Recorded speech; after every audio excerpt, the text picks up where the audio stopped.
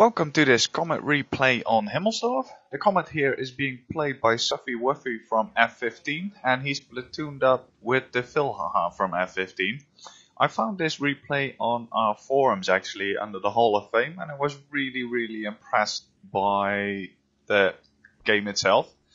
I mean, you can see Suffy Wuffy obviously plays the Comet quite a lot. He's got two gun marks on it. Um, I've got two gun marks on it as well.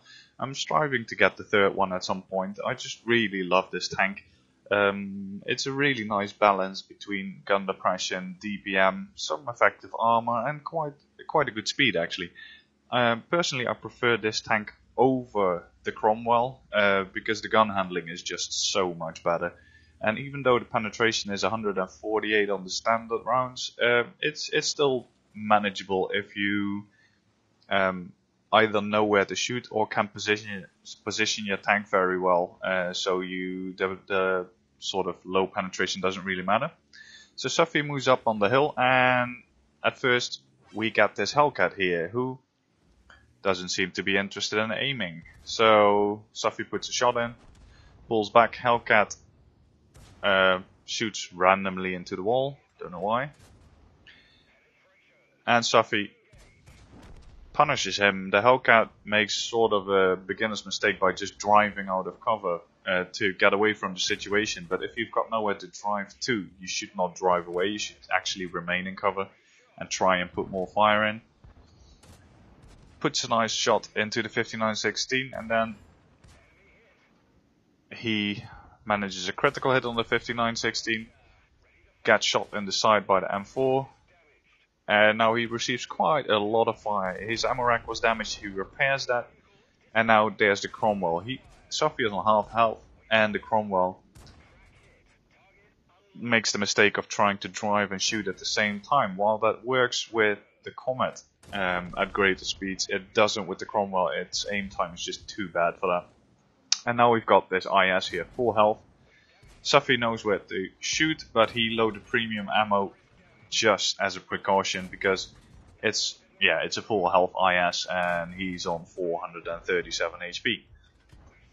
There to uh, there 229 does something and then here comes the artillery because XVM focus. So Suffy unfortunately loses 414 health to the arty and is now on 23 HP and a one shot for everything. Um, his radio operator unfortunately got killed, but that's that's one crew member you don't want to waste a, a, a med kit on. And that is, I think, as well why Wargaming in some future patch was thinking about putting the sixth sense on the radio operator. Because currently, if he dies, no one bothers to use a repair or a, a, a med kit on him. But if they put sixth sense on him, you have to actually use a repair or a med kit on him, and that makes people just lose more med kits, which means that they have to buy more, and that in turn means more income and more playing for wargaming. So yeah, uh, a bit of a dirty tactic if you ask me, but hey, I'm not the game developer. I'm just a player. So at this moment, Suffy wants to see if he can hit the Jagdpanther or any other tank. Um, since he's a, a one shot, he needs to be very careful. He got spotted by the IS there, I think. Tries to plant one into the engine deck, but it's not really working. Jagdpanther drives out to take a shot. But Suffy takes him out with a premium round right through the front plate. In these kinds of emergencies, I mean, uh, using premium ammo is totally legit uh, especially if you're, you're a one shot, because then all your shots count. So so far we've got two and a half thousand damage, four thousand four hundred WN8, eight kills. So that's already a Radley Walters in the bag, but there's more to be done. And yeah, his platoon mate unfortunately already died. The T29 is desperately trying to cap, which in this situation is definitely not really the right thing to do because you're completely outnumbered, so capping will just make the enemy know where you are. Uh, is really lucky that the T-29 had horrible aim and shot into the wall next to him, but he managed to set the T-29 on fire. So yeah, already T29 on half health. Remember, this is the second tier 7 heavy that he's just engaging pretty much one on one at the start. And he's just making them look silly. So, second fire, there we go. Complete T29 in damage. So, up to 3600 damage. 9 kills. So, yeah, it's going quite well. 9600 WN8. And then we've got this uh, Skoda T29 is still in the gap.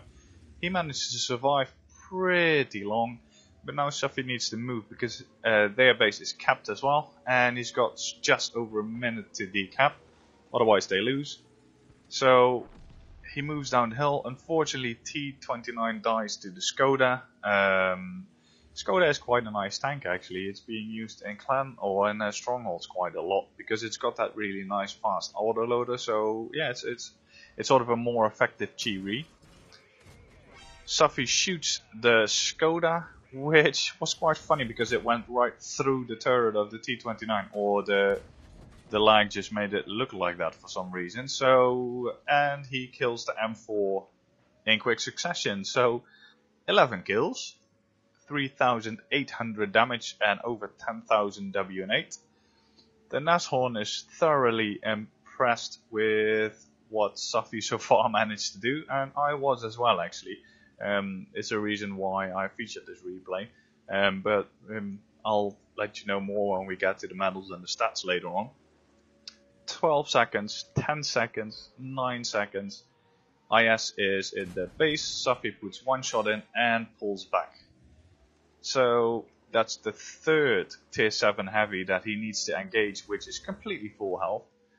And here he wanted to wait before he pulled back, so the IS didn't know where he went.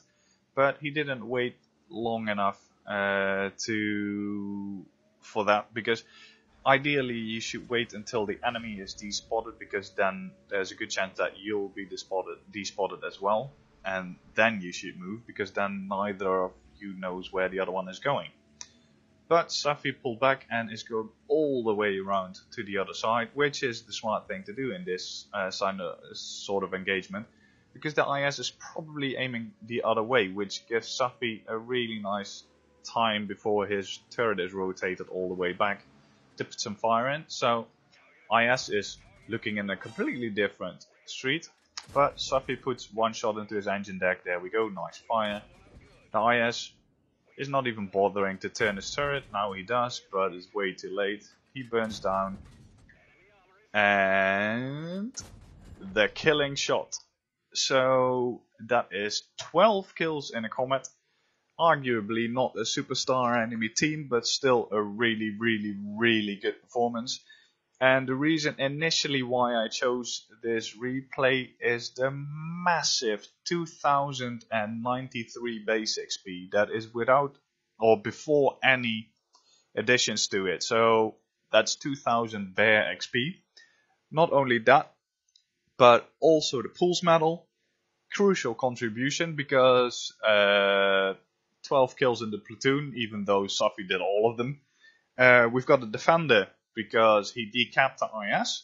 We've got a high caliber, obviously, because of the 5,000 damage he managed to do in this match, and a Top Gun, uh, which is sort of a, a, useless medal when you've got the pools, obviously, but it's a nice one to have. So yeah, 2000 base XP on a Comet is what a match like this looks like. So I really hope you enjoyed the replay.